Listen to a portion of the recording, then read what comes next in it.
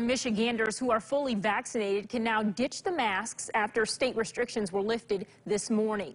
They're also no longer required for anyone in outdoor settings.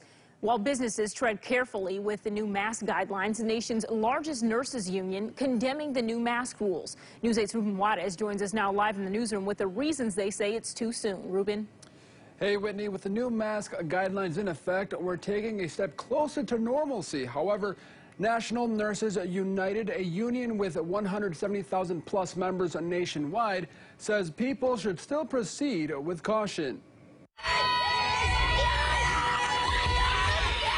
The boys at LMCU Ballpark are buzzing because the tarp is coming off, and like the field, fans can now ditch their covers. Feels really good. Um, there's a freedom of being somewhat normal again is definitely, it feels really good. LMCU Ballpark following the state's updated mask guidelines, allowing all fans to go maskless in the stadium's open air areas. I like it a lot. It's a lot less restrictive, more freedom. Like I say, we were here Tuesday and there was a lot more. We had ours.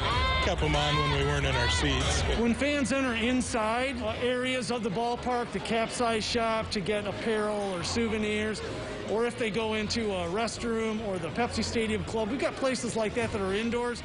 They're required to wear a mask. While the new guidelines give the public some breathing room, National Nurses United is condemning the CDC's decision to allow folks to remove their masks outdoors.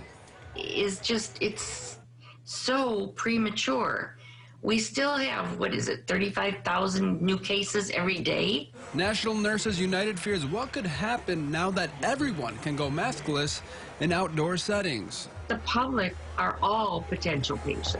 We as nurses must tell people when they are in danger.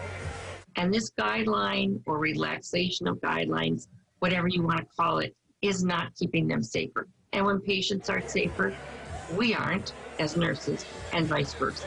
While masks at the ballpark are becoming a thing of the past, fans we spoke to feel safe, with attendance still restricted to 2,000 fans and distancing in the stands still a priority. As it is right now, everyone's pretty distant, so I think they're doing a lot of good things for safety protocol. Fans are definitely more enthusiastic about being at the ballpark with the new guidelines. The Caps are hopeful they can increase their capacity at some point this season. Reporting in the newsroom, Ruben Juarez, News 8.